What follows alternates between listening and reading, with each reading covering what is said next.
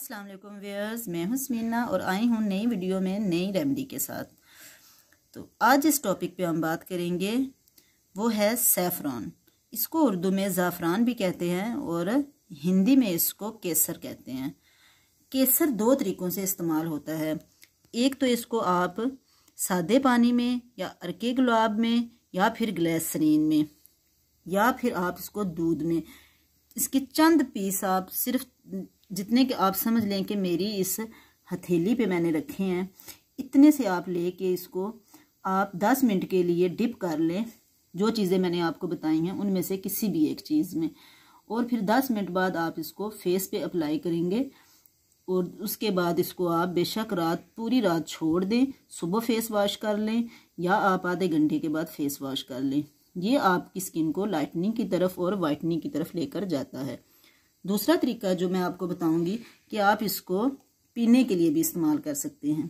पीने के लिए आप इसको इस तरह इस्तेमाल करेंगे कि इतनी से ही आपने पीस जो हैं, इनको आपने मसल लेना है, इसको आपने पाउडर की शक्ल में बना लेना है। पाउडर की शक्ल में जब ये बन जाएगा तो फिर आपने इसको एक गिलास दूध में मिक्स करना है और वो दूध आपने पी लेना है।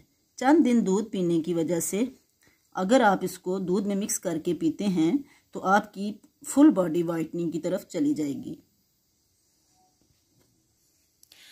तो चलिए पहले मैं इसको दूध में मिक्स करके आपको दिखाती हूँ।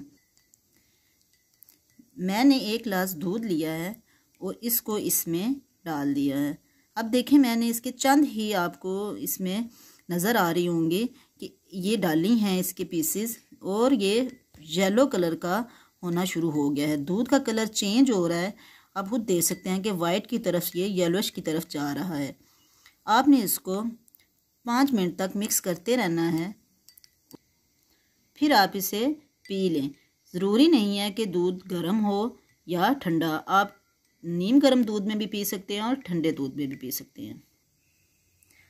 तो अब मैं इसको आपको बताती हूँ कि आपने स्किन पे कैसे अप्लाई करना है। जितना हमने दूध में डाला था, उतनी ही आपने इसकी डंडियाँ ले लेनी हैं। और उनको आपने अपनी हथेली पर अच्छी तरह मसल लेना है। मैंने भी इनको मसल दिया है। अब मैं इसको कटोरी में डालूँगी।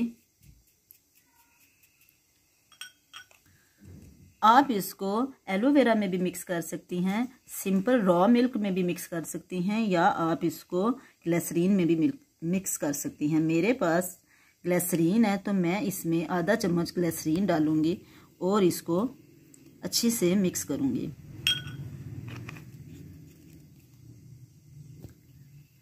आप इसको पाँच मिनट तक मिक्स करें। देखें मैंने अभी इसको मिक्स करना शुरू ही किया है और इसका कलर चेंज होना शुरू हो गया है।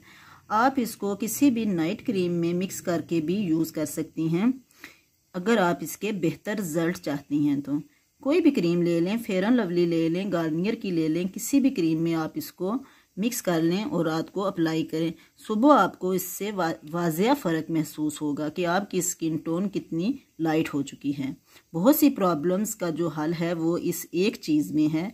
आप खुद हैरान रह जाएँगे कि ये छोटी सी चीज़ आपके लिए कितने फ़ायदे रखती है। तो मैंने इसे मिक्स कर लिया है। आप देख सकते हैं कि पाँच मिनट लगातार मिक्स करने से इसने अपना कलर चेंज कर लिया है। मैं आपको दिखाती हूँ कि आप इसको कैसे अप्लाई करेंगे।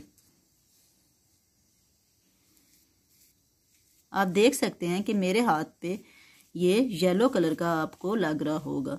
तो इसी तरह आपने इसको अपने फेस पे अप्लाई करना है और पूरी रात के लिए छोड़ देना है। आप इसको सिंपल ऐसे भी अप्लाई कर सकते हैं, या फिर मैंने आपको बताया था कि आप किसी भी क्रीम में मिक्स करके इसे आप लगाएँ। ये आपको वाइटनिंग की तरफ़ लेकर जाएगा।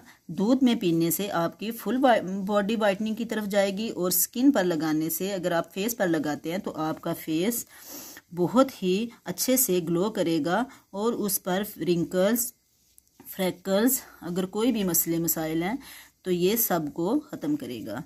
तो चलिए नेक्स्ट वीडियो में किसी नई रेमडी के साथ फिर हाज़िर होंगी।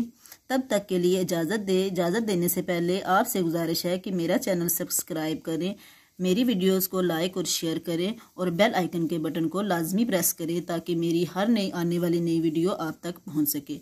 अल्लाह हाफिज़।